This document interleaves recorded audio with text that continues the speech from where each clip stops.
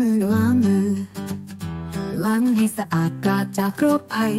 ก่อนกินข้าวล้างข้อห้องน้ำจำไว้ล้างแรงสมุดครั้งที่เราล้างมือ เช้าและเย็นเราต้องแปรงฟัน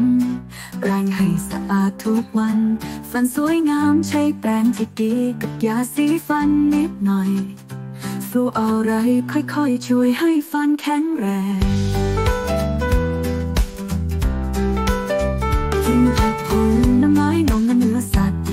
กล่องสีไม่ขัดก็สำคัญหลีกเลี่ยงของหวานมีคานขนมขบเคี้ยว สุขภาพดีจริงเชี่ยวได้ทุกวันกินแต่น้ำสะอาดจงตัดขาดน้ำหวานน้ำอัดลมไม่ต้องทาน มันไม่ดีกับเรา น้ำเปล่าสำคัญมากพอเราอยากให้ร่างกายแข็งแรง คืนทุกคืนตอนเช้าเมื่อเราตื่นเราสดใส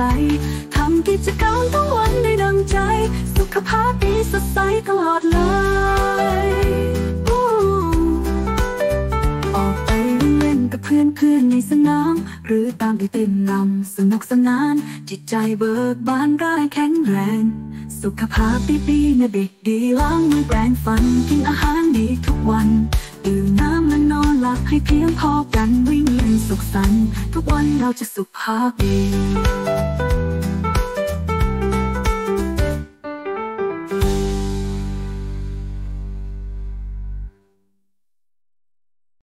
หากเด็กๆ ชื่นชอบนิทานและเพลงสนุกๆ ของช่องนี้